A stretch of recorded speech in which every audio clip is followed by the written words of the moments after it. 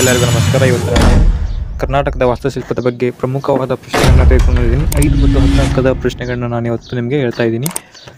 ಇದರ ವಿವರಣೆಯನ್ನು ನಾನು ಬರುವ ವಿಡಿಯೋಗಳಲ್ಲಿ ಮಾಡ್ತೀನಿ. ಇವಾಗ ಎಲ್ಲ ಪ್ರಶ್ನೆ ಪತ್ರಿಕೆಗಳನ್ನು ನಿಮಗೆ ಪ್ರಸ್ತುತಪಡಿಸ್ತೀನಿ. ಪ್ರಶ್ನೆ ಪತ್ರಿಕೆಗಳ ಸರಣಿ ಮುಗಿದ ತಕ್ಷಣ ಉತ್ತರಗಳನ್ನು ಒಂದೊಂದಾಗಿ ಬಿಡ್ತಾ ಹೋಗ್ತೀನಿ. ಮೊದಲಿಗೆ ಐದು ಅಂಕದ ಪ್ರಶ್ನೆಗಳನ್ನ ನೋಡೋಣ. ಕರ್ನಾಟಕದ ವಾಸ್ತುಶಿಲ್ಪದ ಬಗ್ಗೆ ಐದು ಅಂಕದ ಪ್ರಶ್ನೆಗಳು ಯಾವ ರೀತಿ ಬರಬಹುದು?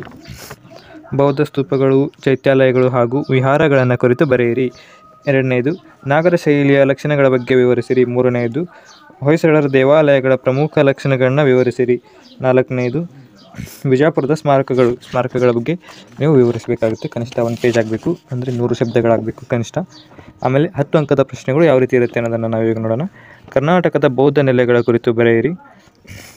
ಹಿಂದೂ ದೇವಾಲಯಗಳ ಶೈಲಿಗಳ ಬಗ್ಗೆ ಚರ್ಚಿಸಿರಿ. ಬಾದಾಮಿ ಚಾಲುಕ್ಯರ ದೇವಾಲಯಗಳ ವಾಸ್ತುಶಿಲ್ಪ ಕುರಿತು ವಿವರಿಸಿರಿ. ಹಂಪಿಯ ಸ್ಮಾರಕಗಳ ಕುರಿತು ವರ್ಣಿಸಿರಿ. ಇವು ಕರ್ನಾಟಕದ ವಾಸ್ತುಶಿಲ್ಪದ ಬಗ್ಗೆ ಇರುವ ಒಂದು ಪ್ರಮುಖವಾದ ಅಂಶಗಳಾಗಿವೆ. ಮುಂದಿನ ವಿಡಿಯೋಗಳಲ್ಲಿ ನಾನು ನಿಮಗೆ ಇನ್ನೂ ಹಲವಾರು ವಿಷಯಗಳ ಬಗ್ಗೆ ವಿಡಿಯೋಗಳನ್ನ ಅಪ್ಲೋಡ್ ಮಾಡ್ತೀನಿ. ಅದಕ್ಕಿಂತ ಮುಂಚೆ ಪ್ರಶ್ನೆ ಪತ್ರಿಕೆ, ಎಲ್ಲ ಪ್ರಶ್ನೆ ಪತ್ರಿಕೆಗಳ ಸರಣಿಯನ್ನು ನಾನು ಈಗ ಬರೋ ವಿಡಿಯೋಗಳಲ್ಲಿ ಅಪ್ಲೋಡ್ ಮಾಡ್ತೀನಿ. ಪ್ರಶ್ನೆ ಪತ್ರಿಕೆಗಳು ಮುಗಿದ ತಕ್ಷಣ ನೋಟ್ಸ್ಗಳನ್ನು ಅಪ್ಲೋಡ್ ಮಾಡ್ತೀನಿ. ಆದ್ದರಿಂದ ನಮ್ಮ ಯೂಟ್ಯೂಬ್ ಚಾನಲ್ಗೆ ಇನ್ನೂ ನೀವು ಸಬ್ಸ್ಕ್ರೈಬ್ ಆಗಿಲ್ಲ ಅಂದರೆ ಸಬ್ಸ್ಕ್ರೈಬ್ ಆಗಿ ಮತ್ತು ಪಕ್ಕದಲ್ಲಿರೋ ಬೆಲ್ಲೈಕನ್ನು ಪ್ರೆಸ್ ಮಾಡಬೇಕಂತ ಕೇಳ್ಕೊತಾ ಇದ್ದೀನಿ. Thank you